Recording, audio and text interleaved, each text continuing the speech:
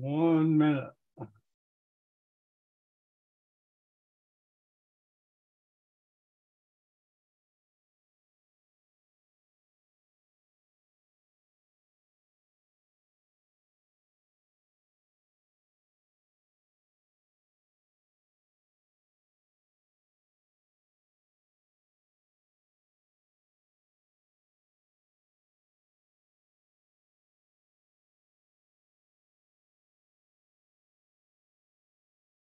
Okay. All set up. Okay, here we go. 10, 9, 8, 7, 6, 5, 4, 3, 2, 1. Good afternoon. This is Dr. John Bennett broadcasting from Miami Beach, home of Neurosurgical TV. Uh, we have another French African neurosurgery grand rounds, completely in French. This is the only time you'll hear English being spoken. So let me introduce the first Remy Flabe. He's a neurosurgeon from Mauritania. He's going to talk about surgical techniques, microvascular decompression. Welcome, Remy. It's all yours. Thank you, Mr. John. Thank you, everyone. Uh, I, I will speak in French. Sorry for uh, the other uh, colleagues. Euh, bonjour tout le monde. Je suis très ravi de participer avec vous euh, aujourd'hui à ce webinaire consacré euh, à la neurochirurgie en français. C'est vrai que parler français devient très rare et donc on doit s'adapter à l'anglais. Pour commencer, je vais remercier Monsieur John pour tous les efforts qu'il fournit pour la neurochirurgie euh, mondiale et la neurochirurgie africaine. Et je remercie tous ceux qui ont pris du temps pour écouter cette présentation qui va commencer dans un instant. avant de commencer, je me présente, je suis neurochirurgien, je suis professeur agrégé de neurochirurgie en Mauritanie. Euh, nous avons introduit la neurochirurgie euh, fonctionnelle et la chirurgie de la douleur depuis quelques années et nous avons commencé par euh, les techniques de décompression microvasculaire, à savoir euh, les Janetta, euh, pour les névralgies des trijumeaux et pour les mispasmes faciales. Donc, l'indication de la micro-décompression vasculaire, neurovasculaire sont trois, essentiellement pour les névralgies des trijumeaux,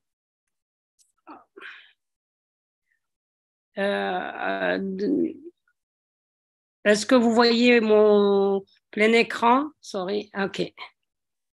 C'est bon, parfait. Est-ce que vous voyez le, plein écran? Do you see the screen? Full screen? C'est OK?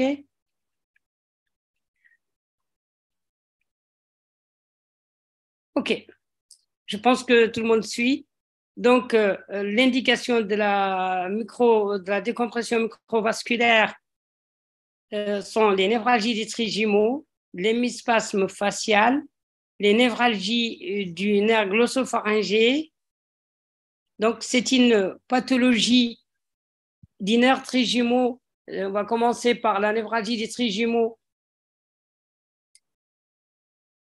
C'est une pathologie de la compression vasculaire du cinquième nerf crânien, le nerf trijumeau, du nerf facial, le septième nerf crânien, du glossopharyngé et du vague. Elle est à l'origine, cette compression de certain nombre de euh, troubles neurologiques. Et elle a été décrite dans les années 32 par Dandy, qui a décrit cette compression du trijumeau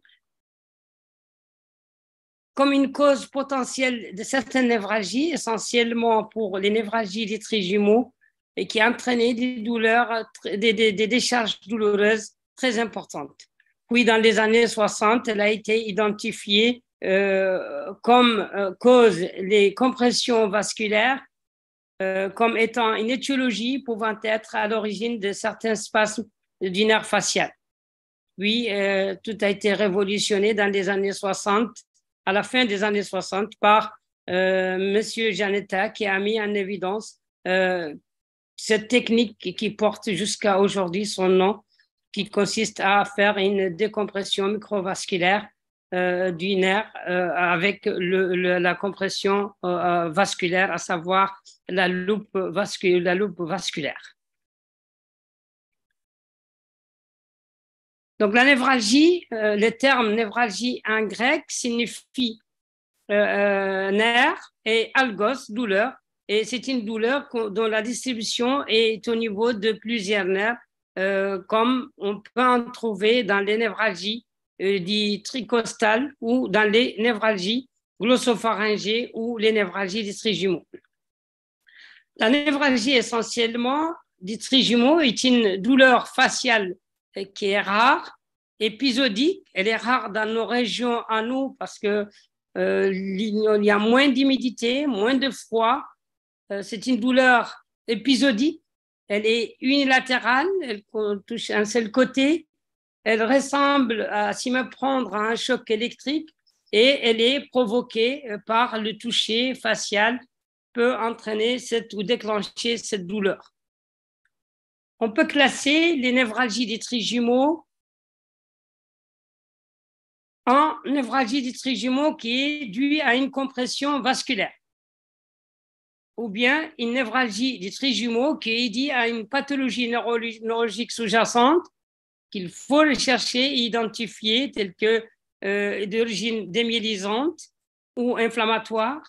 On peut trouver des névralgies sans étiologie, et c'est essentiellement les névralgies dits trijumeaux qui sont idiopathiques. La compression vasculaire des nerfs crâniens les plus courantes touche euh, euh, des, des, femmes pour un homme elle débute généralement entre un pic qu'on peut estimer entre 50 et 70 ans. Les branches euh, du nerf trijumeau, parce que le trijumeau se divise en trois branches, euh, en branches 5-2 et 5-3, et ça donne des douleurs généralement unilatérales et qui s'arrêtent à la moitié du visage. Elle touche 1% des patients de façon bilatérale et c'est rare également.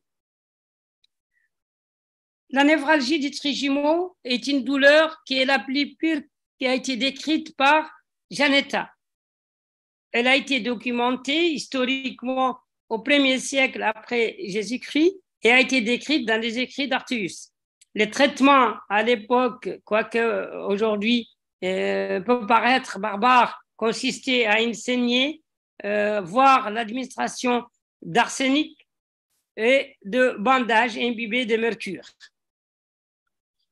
Cette douleur a été décrite au niveau du visage par euh, Ibn Sina, ce qu'on appelle Avicenne, euh, qui est d'origine iranienne et dont les textes étaient en arabe au Xe siècle. Puis, plus tard, dans les années 1765, euh, elle a été décrite par Nicolas André.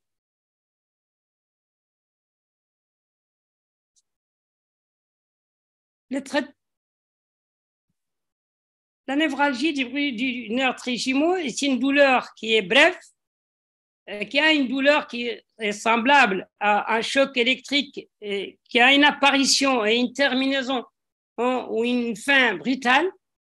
Elle est limitée à la distribution topographique euh, de plusieurs divisions nerf trijumeau. La douleur est généralement déclenchée et survient fréquemment spontanée, mais elle peut être déclenchée. Il y a des petites zones ou des sillons nasogéniens ou du menton qui peuvent être particulièrement sensibles à la, au toucher et qui sont qu'on peut appeler des zones gâchettes. Les douleurs disparaissent généralement pendant les périodes variables L'international euh, Cranial Headache Disease euh, a, décrit, c'est son site auquel on peut accéder, euh, au moins euh, pour une névralgie des trijumeaux, trois crises de douleurs faciales du même côté répondant aux critères B et C, c'est-à-dire elles sont récurrentes dans les crises paroxystiques durant une fraction de seconde à des minutes, fortes en intensité, comme un choc électrique ou comme un coup de feu, ou un coup de couteau ou une qualité tranchante. Elles peuvent être euh, précipitées par, ou déclenchées par des stimuli sur le côté affecté du visage, mais auquel on associe euh, très rarement un déficit neurologique. Elle ne peut pas mieux expliquer par un autre diagnostic et pas d'autres étiologies pouvant expliquer cette névralgie du trigymo. Comment on fait les diagnostics alors? Le diagnostic d'un névralgie du trigymo doit être clinique et il se base sur l'anamnèse que va vous raconter le patient, d'où l'intérêt d'un examen clinique et d'un interrogatoire euh, bien étudié et bien préparé. La névralgie, elle débute souvent euh, avec un débit qui est mémorable. Le patient se souvient généralement de, la première fois qu'il a eu sa crise. Les périodes ont tendance à diminuer au fur et à mesure. Par contre, la douleur s'allonge souvent. Statistiquement, 65 patients des patients font une névralgie du trigymo en deuxième épisode dans les 5 ans. Mais par contre, 70% dans les 10, 10 années suivantes. 50% des patients peuvent connaître une rémission de moins 6 mois sans douleur. Certains patients continuent à ressentir une douleur de fond, mais de moindre intensité. Euh, cette affection peut être appelée une névralgie, appelée névralgie du trigymo atypique type 2. La présentation clinique est une douleur paroxystique intense et intermittente. Elle, a été décrite, les patients qui la décrivent, euh, ils la décrivent souvent comme un coup de couteau ou une décharge électrique durant quelques secondes à quelques minutes. Elle est déclenchée par des stimulus qui sont très légers. C'est une douleur où il reste un épisode sans douleur entre les crises douloureuses. Parfois, le patient peut avoir une névralgie du trigymo associée à un hémispasme facial et qu'on peut appeler des tics convulsifs ou un état de mal euh, trigeminal. Le diagnostic différentiel, ce sont les maladies inflammatoires, les scléroses en plaques, un syndrome douloureux orbito-isolé, des céphalées en grappe, des névralgies post-herpétiques, des algies dentaires, des troubles de l'articulation temporomandibulaire, des arthrites temporales ou des névralgies post-radiques. L'examen après l'interrogatoire et la description clinique c'est essentiellement l'imagerie. Il faut savoir que quand un patient vous parle de cette douleur qu'il décrit comme unilatérale dans un territoire, dans un territoire dit trigimo, de la distribution des nerfs trigimaux, et que cette douleur est déclenchée par la parole, elle est déclenchée par le rasage, qu'il y a une zone gâchette, qu'elle s'arrête à la moitié du visage, qu'elle ne touche pas l'autre côté, il faut toujours penser à une névralgie du trigymo et complétée par une imagerie. Cette imagerie est essentiellement basée sur une IRM de la fosse postérieure, une IRM cérébrale. Cette IRM doit comporter essentiellement les séquences T1, les séquences T2, les séquences flair et les séquences T1 euh, GADO. Et ces séquences doivent être associées à des séquences vasculaires pour voir s'il y a un conflit associé. T1 permet d'apprécier les coupes axiales et sagittales volumétriques. L'objectif, c'est d'apprécier l'anatomie normale et le parenchyme cérébral. Les séquences T2, c'est essentiellement des séquences, exemple, les séquences en 3D6 et Fiesta. L'objectif, c'est de rechercher les nerfs jumeaux depuis son origine au niveau du tronc cérébral pendant son trajet cisternal et au niveau du cavum de Meckel. D'où l'intérêt de bien apprécier ces images, ces séquences T2. Les séquences flair, elles vont objectiver s'il y a une anomalie du signal de la substance blanche qui peuvent faire penser à une maladie inflammatoire, une sclérose en plaques ou autre. Et le scanner avec des séquences TOF pour voir le trajet des vaisseaux essentiellement incriminés dans cette région qui peuvent entraîner un conflit au niveau du trigimo qui sont essentiellement l'artère cérébelleuse supérieure et l'artère cérébelleuse inférieure, laïca. L'IRM en séquence 6, on voit sur cette image, je pense que vous voyez la bouche, on voit ce vaisseau, c'est l'artère cérébrale postérieure et l'artère cérébrale supérieure et le nerf trijumeau sur son trajet. On peut voir également ces découpes euh, sagittales, le trajet et le conflit neurovasculaire.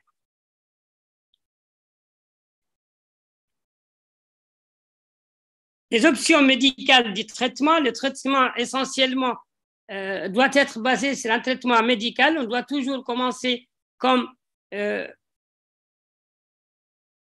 par le traitement médical et la molécule de prédilection des choix pour les soins primaires et la carbamazépine, elle doit être utilisée essentiellement pour la névralgie du trijumeau.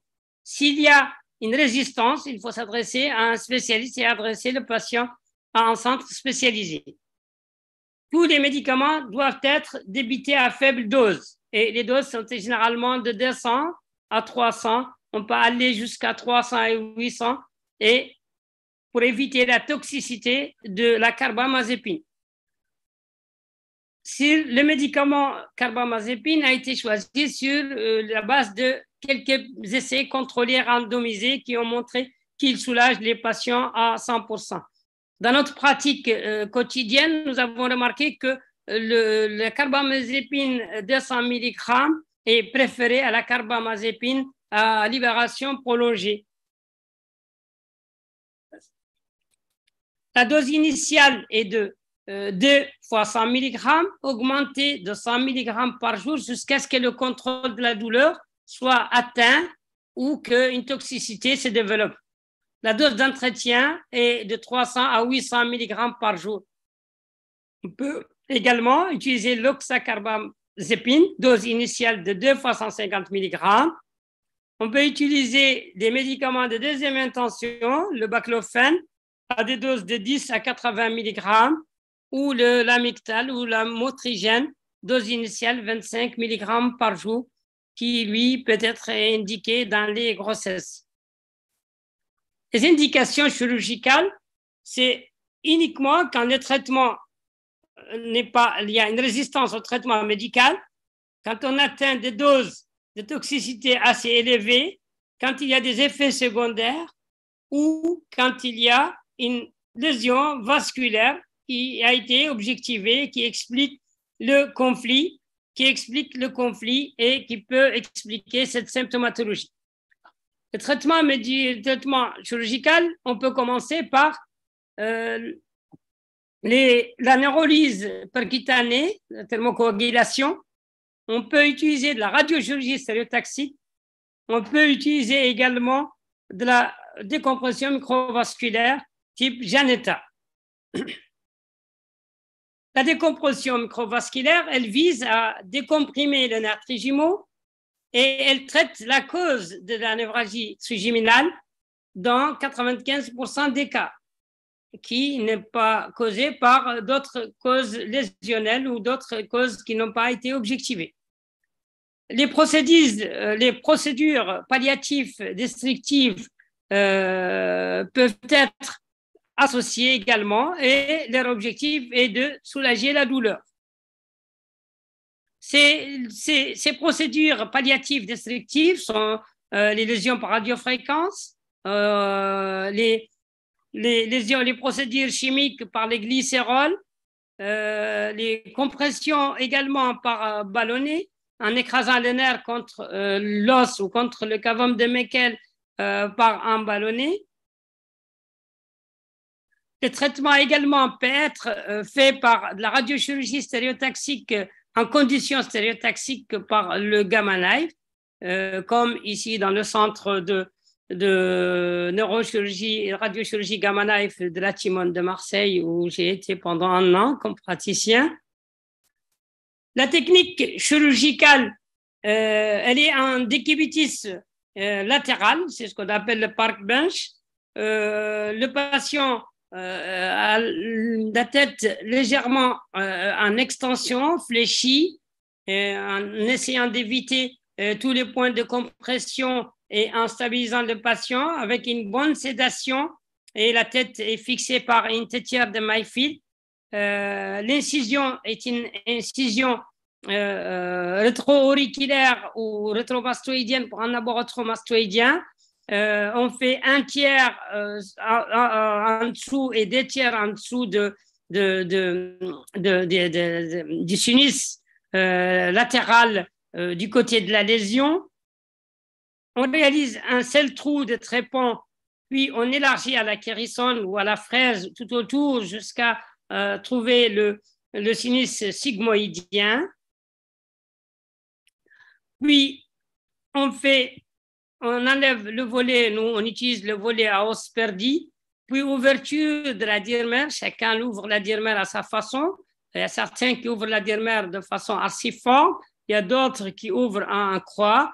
Euh, moi, je continue à en faire en croix avec une suspension de la dirmère et un contrôle de l'hémostase tout autour. Puis, après avoir fait cette incision, après avoir fait le volet, on commence euh, en premier au niveau de la grande citerne qui nous permet de faire une grande détente. On utilise un écarteur de type, euh, type J qui est long et on écarte et on commence à détendre en évacuant quelques cc de euh, liquide cérébrospinal.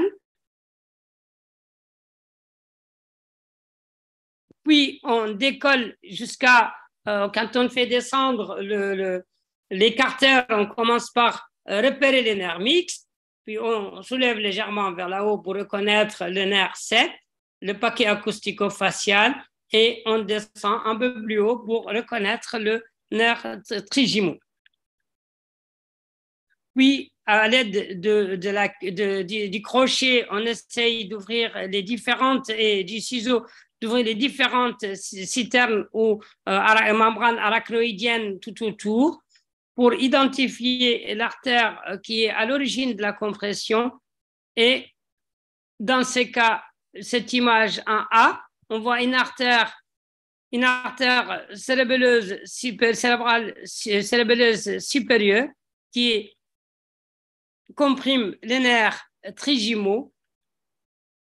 Et en dessous, on voit une loupe vasculaire sur le nerf euh, vestibulo-cochléaire.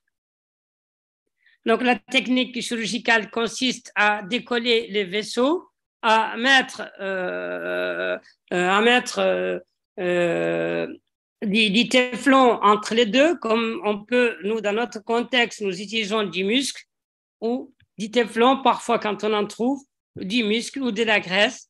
L'essentiel, c'est d'écarter. C'est difficile de fixer. Certains mettent de la glu, de la colle pour fixer dans, notre, dans nos conditions. Les soins post-opératoires il faut observer le patient euh, euh, en post-opératoire pour vérifier qu'il n'y a pas de fuite, qu'il n'y a pas d'hématome, euh, qu'il n'y a pas de signes neurologiques associés des complications. Changer le pansement 48 heures après, ne pas mettre un dredon et surveiller les douleurs en post-opératoire.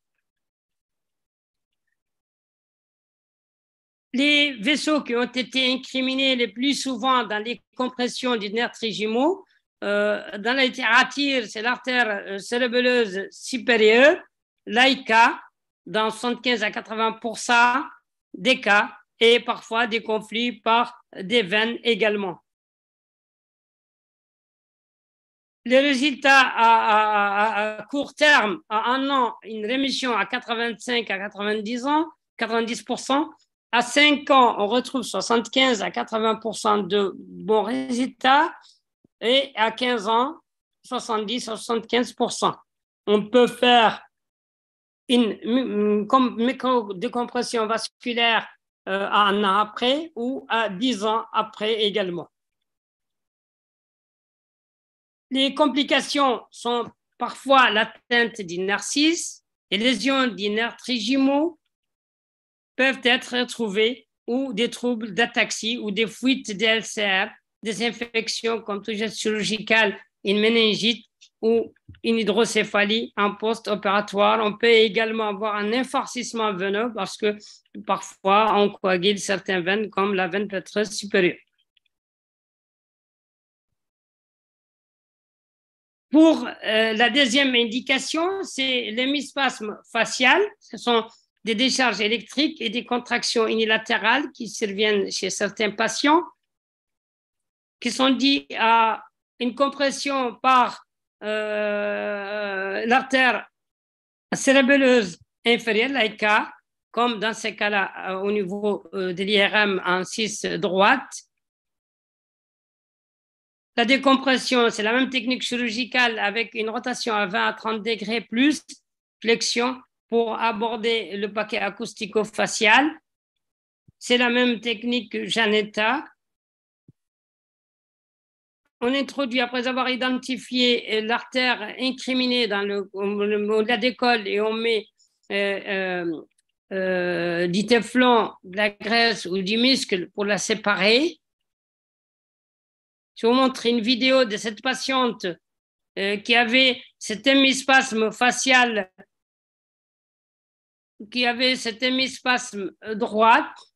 On voit au niveau du visage euh, qu'elle a, euh, qui a été suivi depuis cinq ans, qui était gênant pour une enseignante.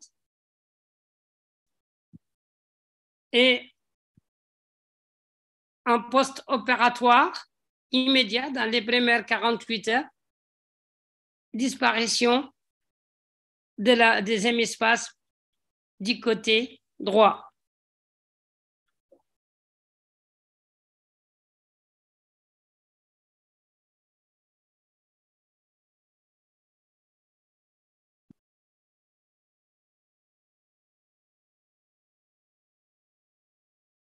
Donc enfin, je remercie pour votre patience et je passe la parole à M. John. Thank you, Mr. John.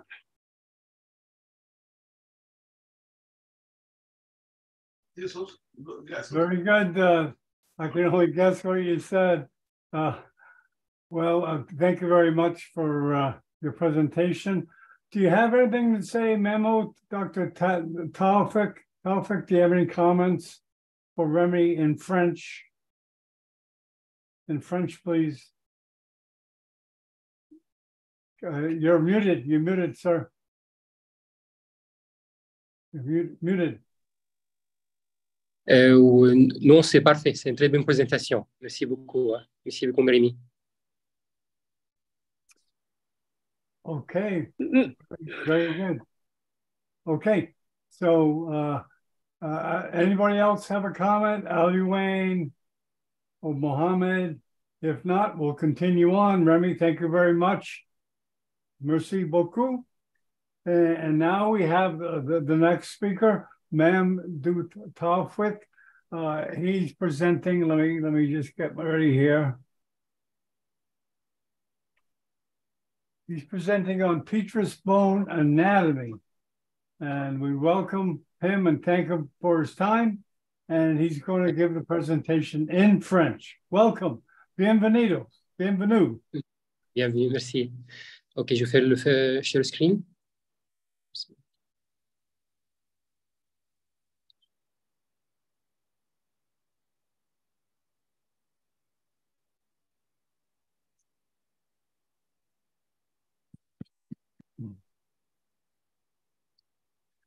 Vous voyez bien comme ça?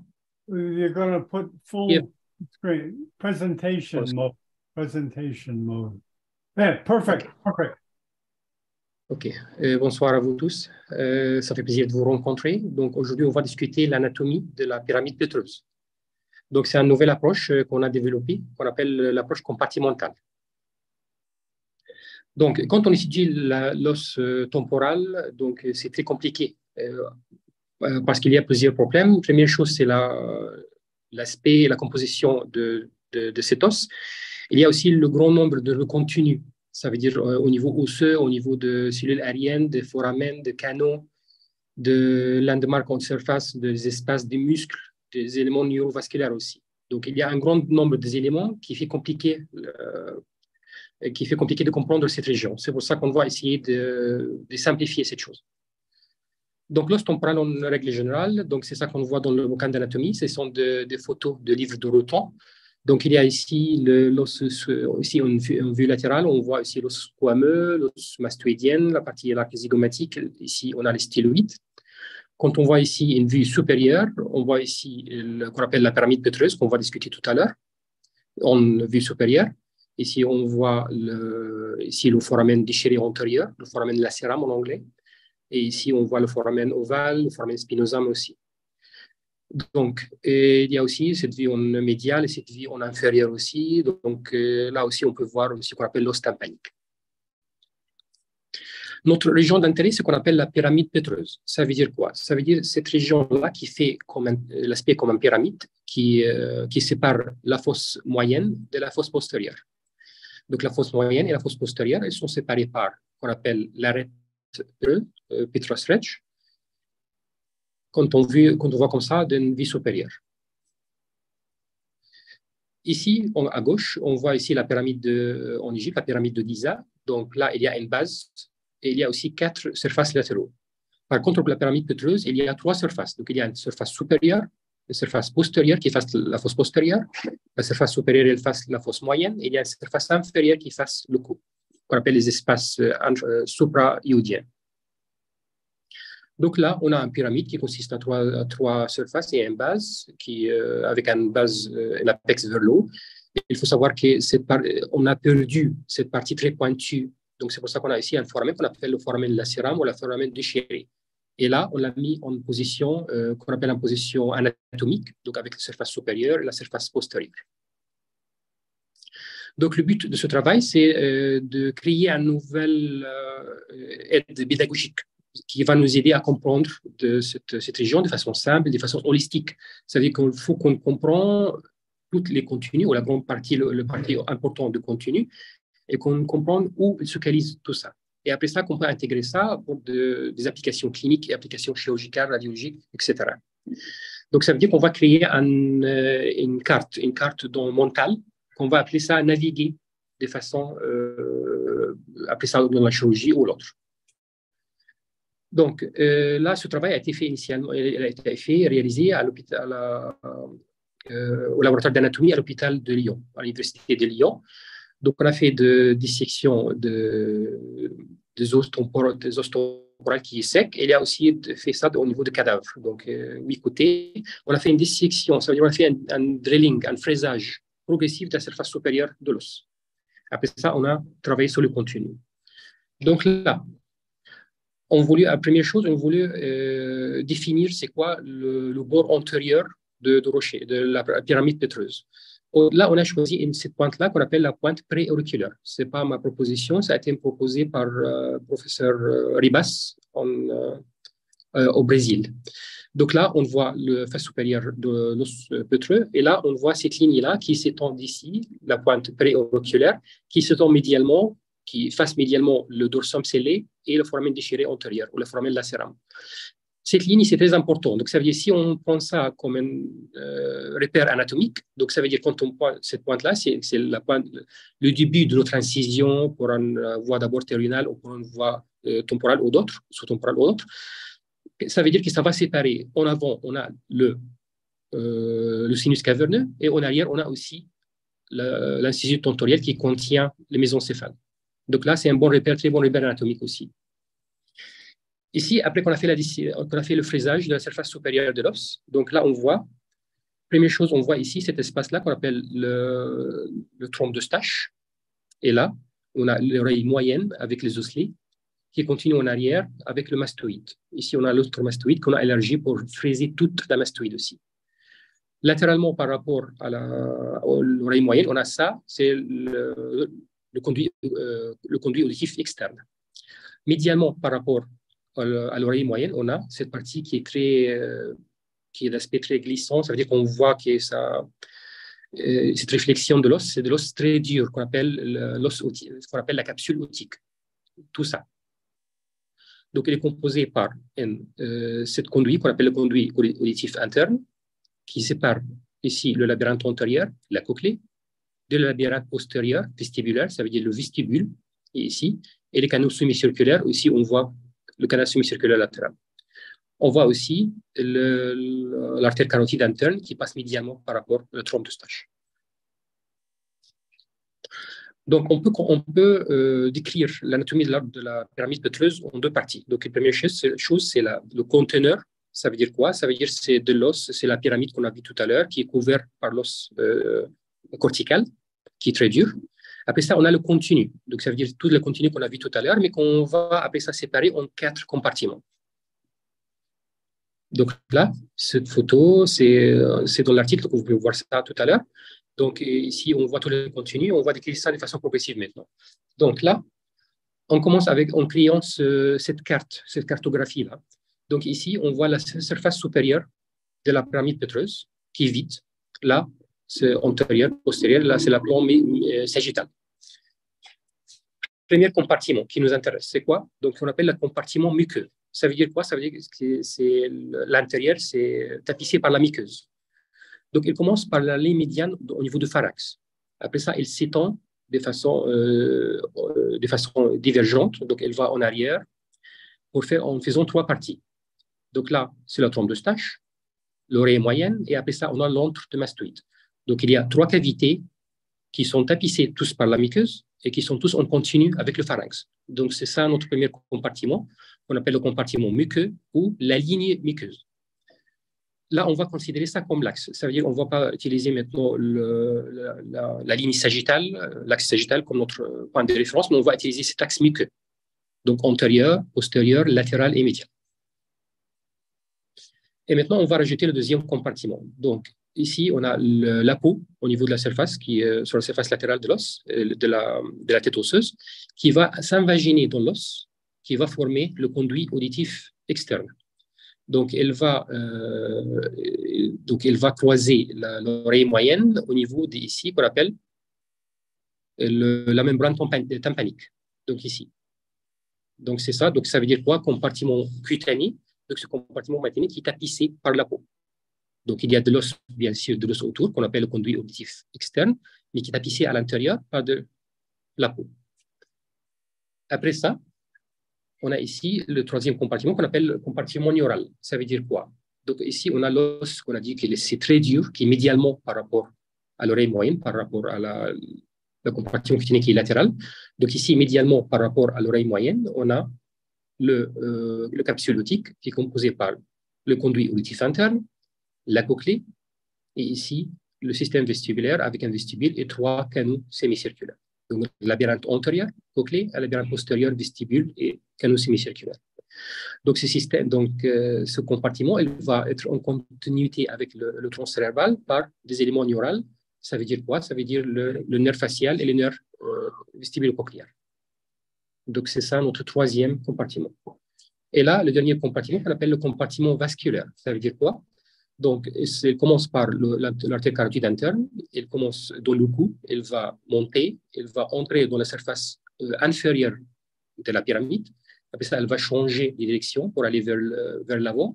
Elle sera, pardon, elle sera médialement par rapport à la trompe de Stache. Donc, elle va aller ici vers le foramen ici qu'on appelle le foramen déchiré antérieur, le foramen lacéram, où elle va entrer dans le sinus caverneux.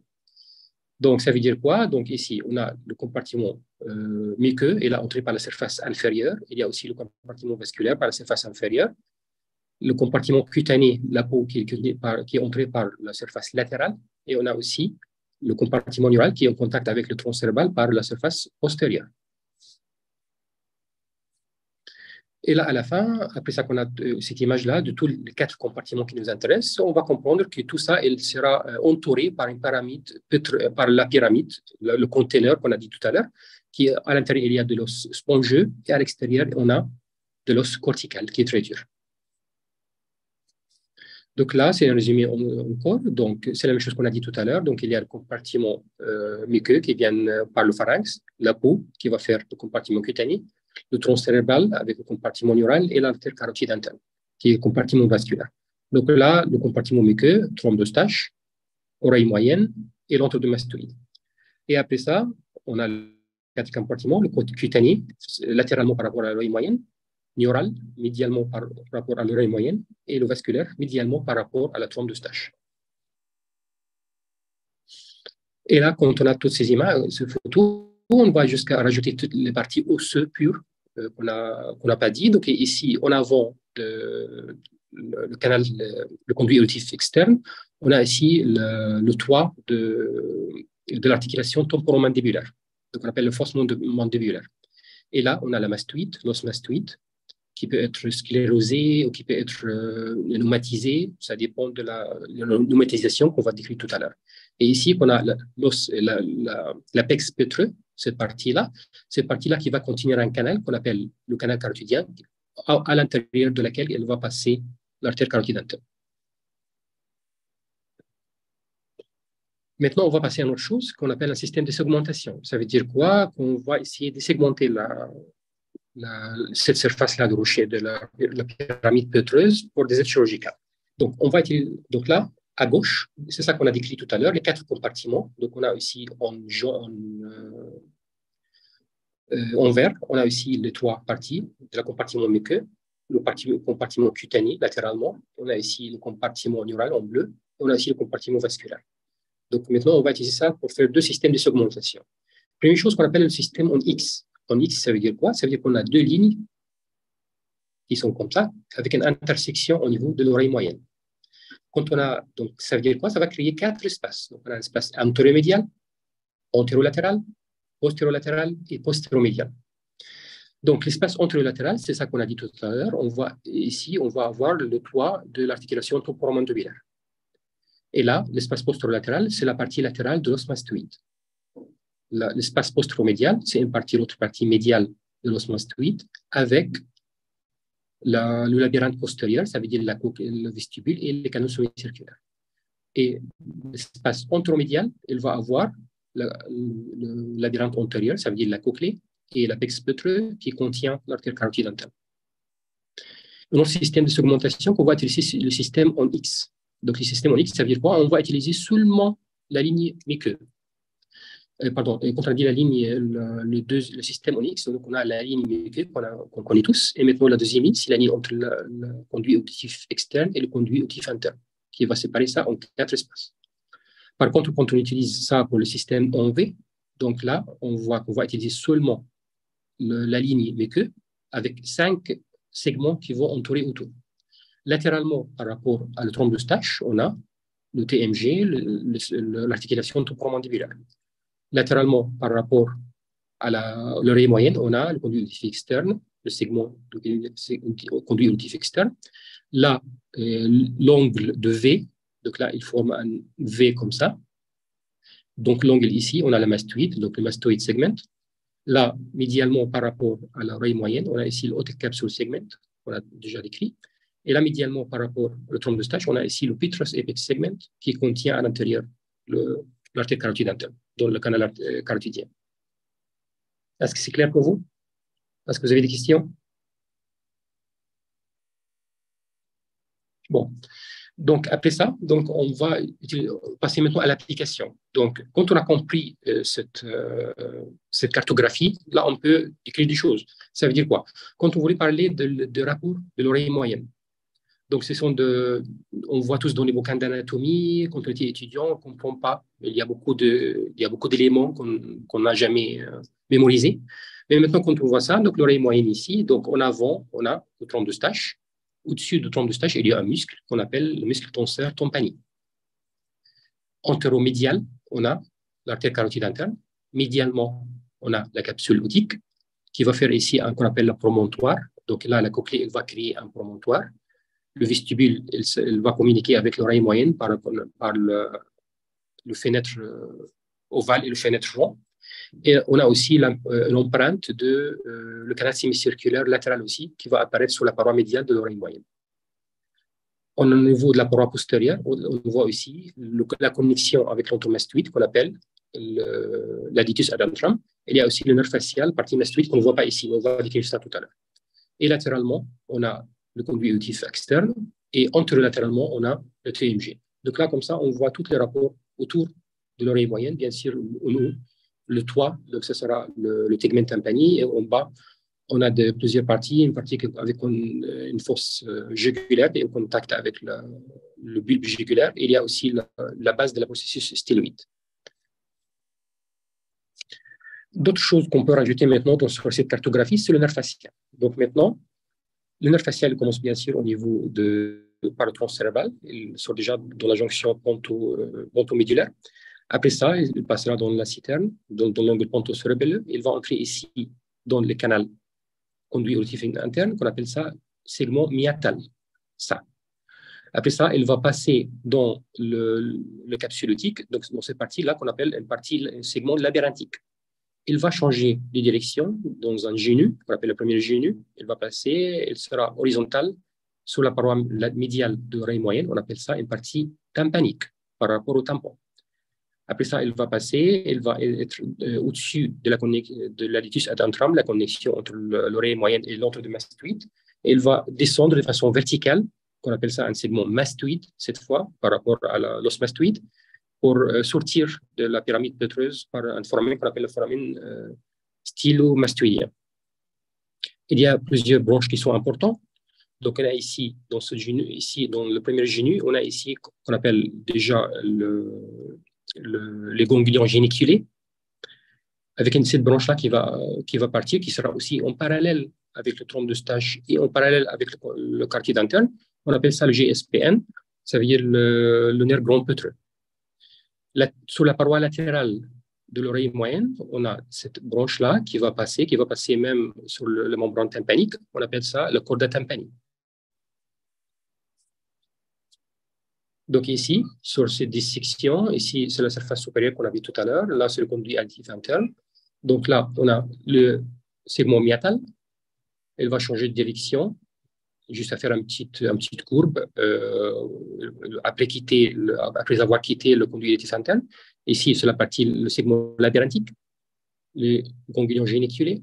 Il va passer ici en arrière de façon horizontale, qu'on appelle ça le segment tympanique, donc avec une partie qui passe latéralement par rapport au vestibule et une partie qui passe au-dessus de euh, le, canal sémicirculaire latéral. Pour aller ici, changer de direction, aller en bas, pour, pour être verticalement une partie mastoïdienne, segment mastoïdien, et on voit aussi les branches. Donc là, on a le GSPN qui est parallèle au laxe. Et là aussi, le corps de tympanie sur la paroi latérale de l'oreille moyenne. Et on a une petite branche pour un muscle qu'on appelle le muscle stabédien. On peut aussi rajouter la même chose sur cette vue en, en CT, en, TDM. Donc là, bien sûr, on ne peut jamais voir tous ces segments sur une seule vue. Ce n'est pas possible parce qu'ils ont de différentes orientations. Donc on ne peut pas les voir. C'est juste pour ajouter ça. Donc là, c'est euh, une partie myatale, labyrinthique, le ganglion géniculé, la partie tympanique et la mastoïdienne et les branches. Ici, on a fait un, un couple qui passe comme ça. Qui, ça veut dire que c'est parallèle à l'axe de la pyramide. Donc là, on voit ici le ganglion géniculé avec le début de la GSPN. Et là, il passe la partie euh, horizontale, qui, ça veut dire la partie tympanique. Et là, on voit qu'elle passe au-dessus de ce canal qu'on appelle le canal sémicirculaire latéral. Elle change de direction, ça c'est le deuxième genou. Elle va descendre en bas pour sortir en bas par le, le, foramen stylomastoïdien. On, on, peut aussi rajouter le cellule aérienne. C'est les neurochirurgiens, peut-être, on ne s'intéresse pas beaucoup par les cellules, mais elles sont très importantes parce que ce sont des voies d'extension de la pathologie. Ce sont aussi des voies d'extension de notre voie d'abord. Donc, on peut utiliser. Donc, il faut le savoir, savoir où se trouve la pathologie. Ce sont aussi des voies pour la, fuite de LCS. Donc, il faut le savoir, il faut l'identifier sur le scanner, il faut les, les, les attaquer pendant la chirurgie. Donc, on peut aussi les diviser en sept euh, groupes. Donc, cinq qui correspondent à notre système en V. Donc, euh, ça veut dire une partie de TMG euh, sur le, le, toit de TMG, le SC, on ne va pas discuter ça de façon prolifique. Si vous voulez, vous pouvez réviser ça sur l'article. Je vais vous donner ça tout à l'heure. Donc, quatrième application, on peut utiliser ça pour l'anatomie en radiologique. Donc là, c'est un coupe de scanner, un coupe axial. Et là, avec l'identification, on va comment, comment identifier l'anatomie en, scanner. Donc, première chose, on va regarder la partie qui est très blanche, qui est très hyperdense, ici, qu'on appelle la capsule optique. Donc, c'est tout ça. La capsule optique, elle est divisée par le conduit interne, labyrinthe antérieur, la cochlée, la vestibule, labyrinthe postérieur, avec des parties de canal sémicirculaire. Donc la capsule optique, elle est là. Latéralement, ce sera l'oreille moyenne. Donc elle commence par d'ici jusqu'à là. Donc tout ça, c'est l'oreille moyenne. Et en avant, bien sûr, c'est le tronc de stache. Et en arrière, c'est l'entre de mastoïde. Latéralement, par rapport à l'oreille moyenne, on a le conduit auditif externe. Et en avant, bien sûr, on a l'articulation temporomandibular. Médialement, par rapport à trompe de stache, antérieurement, par rapport à la cochlée, on a ici l'artère carotide interne qui est euh, dans un canal, dans cette partie-là qu'on appelle l'apex petreux. Et là, c'est le coupe de dissection euh, qui correspond à cette vue. On peut aussi avoir un couple qui est plutôt euh, parallèle à l'axe de la pyramide. Donc là, on voit le tronc de stache, l'oreille moyenne avec les osselets. Et là, c'est la paroi postérieure de l'oreille moyenne. Et ici, c'est le litus adentrum, la connexion avec l'autre de mastoïde. Et ici, il y a le muscle qu'on a parlé tout à l'heure, qui est jusqu'au-dessus de, le tronc de stache, qu'on appelle le tonseur tympanique notre application, on peut maintenant, quand on a vu cette cartographie, on peut faire des rapports avec les autres parties à l'intérieur de, de pétreux et aussi à l'extérieur. Donc, on voit ici qu'on peut diviser le, tous ces éléments qu'on a discutés en ligaments longitudinaux qui sont parallèles à l'axe, tronc de stache, l'oreille moyenne, l'entourmastoïde, cette ligne muqueuse. On a aussi en parallèle le GSPN, il y a aussi l'artère carotide interne. On a aussi, dans cette vue, on voit aussi le, segment tympanique de nerf facial, la branche de corda tympani.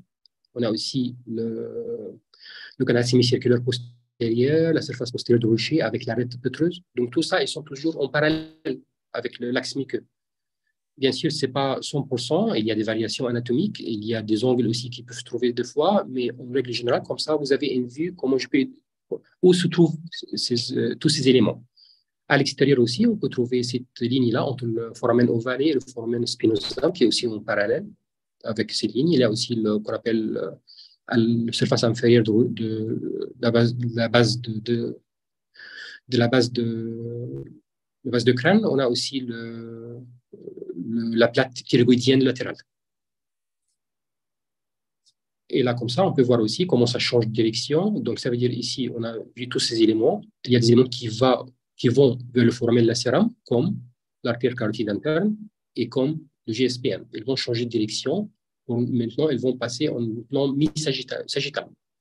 Donc là, la carotide, elle sera dans le sinus caverneux et le GSPN, elle va passer dans le canal vidien au-dessus de plate euh, thyroïdienne médiane. Et comme ça, on voit la connexion entre les voies d'abord latéraux ça veut dire lateral base surgery, et aussi les voies d'abord antérieures endonasales euh, qui passent par le nez, ça veut dire les voies d'abord antérieures, l'endonasal surgery. Sur là, maintenant, on voit que ce, repère qui est très important pour les voies endonasales, ça veut dire le nerf vidion, la carotide interne aussi, qui commence par le foramen lacérum et sa partie caverneuse. Tout ça, c'est important pour la voie endonasale aussi. Et on a aussi le tronc de Stache dans cette partie osseuse dans la, dans, dans la pyramide pétreuse et aussi une partie cartilagineuse qui est à l'extérieur ce sont les trois repères les plus importants dans la chirurgie de la, la voie endonasale. Et là, comme ça, on peut voir aussi une vue euh, euh, en trois dimensions de tous ces contenus avec la pyramide pétreuse. Comme ça, on a aussi en vert ce cube-là. C'est ça l'oreille moyenne avec en bleu. Ici, c'est la capsule optique à l'extérieur. Et à, latéralement, on a le conduit auditif latéral et le conduit auditif externe. Et là, on voit ici la cochlée, le système vestibulaire, le conductif interne. Et là, on voit le 7 qui va avec le ganglion géniculé, le passage du segment tympanique et le segment euh, mastoïdien. Et le GSPN qui va après ça changer de direction au niveau de foramen lacérum pour passer pour être euh, parallèle à l'immédiane. Et ici, pour passer au niveau de, euh, la fosse Kirgo-Balata et aussi le changement de direction au niveau de la carotide, dans sa partie cervicale, partie pétreuse, qui est aussi parallèle avec les axes qu'on a parlé tout à l'heure. Et au niveau de foramen lacérum, il va entrer aussi pour changer de direction, pour être dans la ligne médiane aussi, ou parallèle à la ligne sagittale, donc pour être la partie caverneuse. Donc, les limitations de ce travail, c'est qu'on a besoin de, comprendre qu'il y a une troisième dimension. Ça veut dire qu'on a vu tous ces, photos de la face supérieure. C'est comme un, euh, comme, un X-ray. Ça veut dire que vous voyez deux dimensions seulement. Vous ne voyez pas la profondeur. Donc ça, il faut l'intégrer. Et après ça aussi, il faut euh, intégrer les distances, la partie quantitative, c'est-à-dire c'est quoi les distances entre, entre, les éléments, les angles, les volumes, et aussi les variations anatomiques. Les perspectives en futur, c'est on voulait euh, continuer ce travail euh, pour avoir une vue simplifiée, holistique et intégrer ça avec les applications, les applications radiologiques et chirurgicales, et peut-être aussi avoir un projet plus large pour simplifier l'anatomie de la tête et cou attitudinale et aussi la, la, la base du crâne et qu'on peut avoir des connexions, euh, après avoir compris euh, euh, plan mental, qui, cette cartographie mentale qui est, un, simple, qu'on peut appeler ça faire les connexions avec l'embryologie, l'histologie, la pathologie, les voies d'abord chirurgicales, l'anatomie radiologique, les diagnostics différentiels aussi, et l'anatomie autour de, cette, de, la pyramide pétreuse pour les voies d'abord chirurgicales. Donc là, c'est la, la, première partie de ce travail a été déjà publiée en 2019. Donc ça, vous pouvez le trouver sur, euh, sur Internet. Et ça a été de, euh, cité deux fois. Euh, merci beaucoup. Est-ce que vous avez des questions?